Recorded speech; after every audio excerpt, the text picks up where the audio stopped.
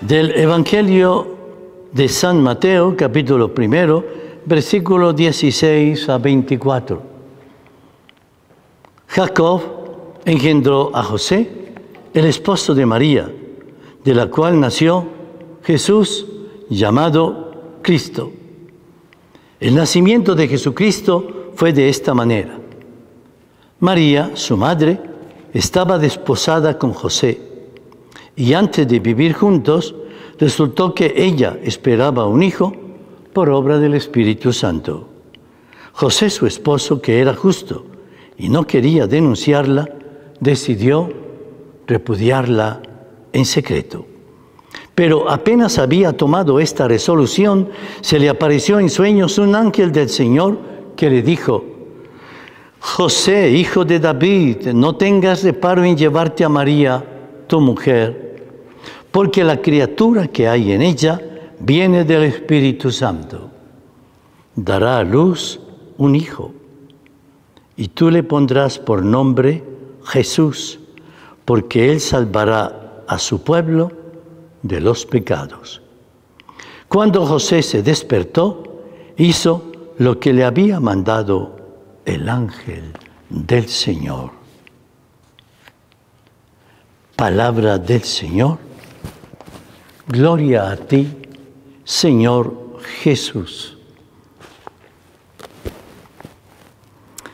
En el mundo, en la historia, estamos muy dados a los ejemplos, a los modelos.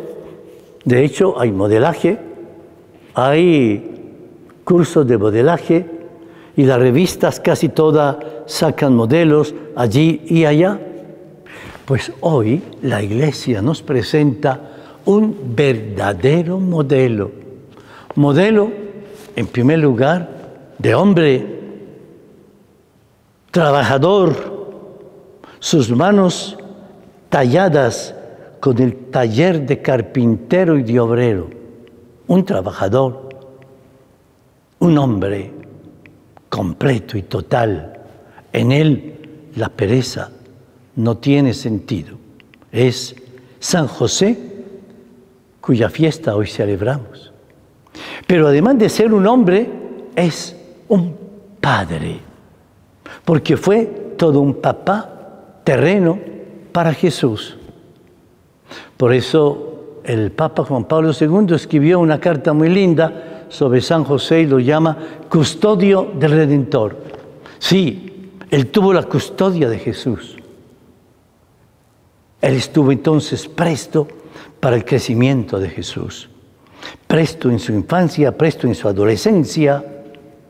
Tiene que defenderlo porque tiene que salir huyendo de la espada de Herodes y él está allí al frente Luego tiene que ir a buscar a su hijo que lleva tres días perdido. Allí está él al frente, junto con su amada esposa, la Santísima Virgen María.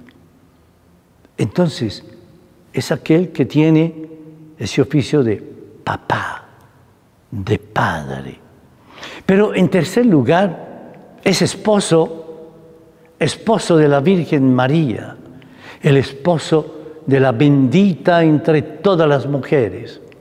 ¿Te parecen entonces pocos los títulos que tiene San José, custodio del Redentor, custodio de la Sagrada Familia? Por eso entonces nosotros debemos pensar en él como un modelo.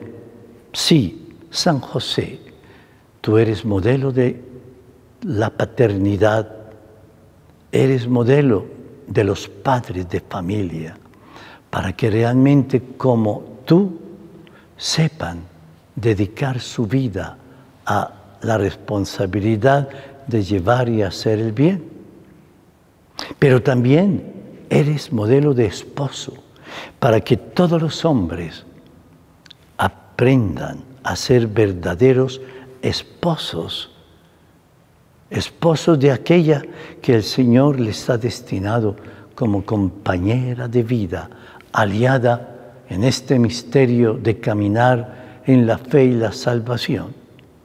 Pero también Él, además de ser modelo de hombre, modelo de padre, modelo de esposo, es modelo de cristiano.